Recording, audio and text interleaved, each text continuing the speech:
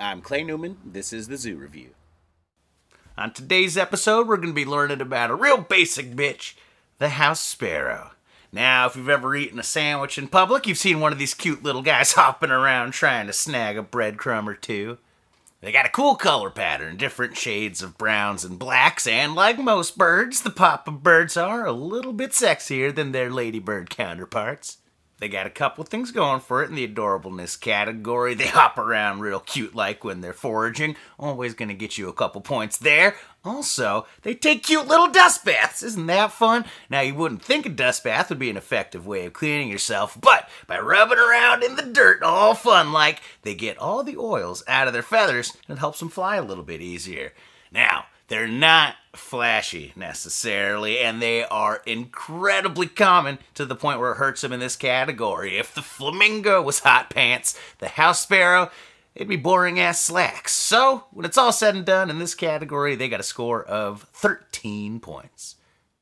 They are pretty defensive creatures. They will defend their nests and their adorable little bath spots. Plus, they will steal nests from other birds. That said, they're not exactly high up on the bird totem pole. Other birds are constantly punking them. When you're trying to feed them in public, chances are a blackbird or a blue jay, they're going to get that chip first. They got some natural predators, but since they live so close to humans, the house cat is always fucking these guys up. When it comes to badassness, frankly, the most they could achieve is really being annoying. In this category, they've only got a score of five. How intelligent is the house sparrow? Well, there is a wide array of man-made structures that they're capable of nesting in. Plus, they can nest both in colonies and on their own. They got a couple pretty clever feeding strategies as well. They will steal food from other birds, always a clever move. Also, they've been seen puncturing holes in the flowers to get the nectar to drain out. There is a social hierarchy. The darker the feathers around the male's neck, the older and more dominant that male is. They breed in pairs, but studies have shown that 15% of offspring come from a bird outside of the breeding pair, which makes the house sparrow the official bird of Ashley Madison. In terms of intelligence, pretty standard stuff as far as birds go. I'm going to give them 9 points. Now, the special skills category is going to bleed into will they make it a little bit because, like the rock pigeon and the starling, the biggest special skill of the house sparrow is their ability to live alongside human beings. Also, like those two birds I just mentioned, the rock pigeon and the starling, the house sparrow, not native to North America. They were introduced in Brooklyn back in 1849, and it took less than 50 years for them to be popular all the way to the Rockies. Not too long before 1900, they were introduced in San Francisco and Salt Lake City as well, and at that point, was pretty much all over. Some of these guys live their entire lives inside of a warehouse. Some nest 2,000 feet below ground in coal mines. They live in just about any city across the country, and that has prompted bird fans to fucking hate them. The level of disdain birders have for this creature is hilarious to me. To hear them talk about it, it's basically like Robins and Blue Jays or South Park characters yelling, They took our jerbs! In this category, the house sparrow gets a score of 14.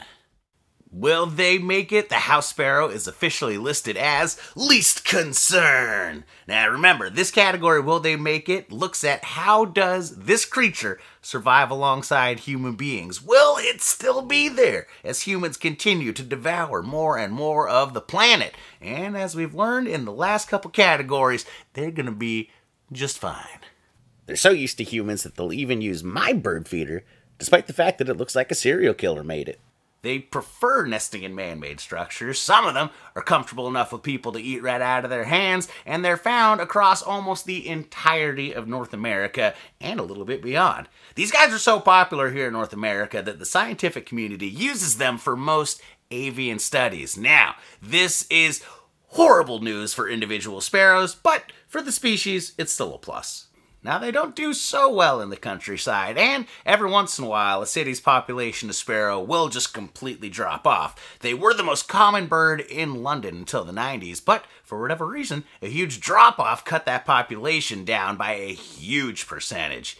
But the fact is, They'll survive us. In the late 1800s here in America, there was a thing called Sparrow Clubs, where our president tasked our nation with just fucking murdering sparrows. Groups would get together, and whichever gang could kill the most would get a fun prize. In this category, the House Sparrows got a score of 18 points. Well, the scores are tallied for the House Sparrow, and it turns out, being a basic bitch, well, that's just fine. It's got a score of 59 points, which is tied with the Black Rhino for 8th place, just behind the Western Scrub Jay. So close to third best bird. Thank you guys for tuning in as always. I really appreciate it. My name's Clay Newman, and this is the Zoo Review.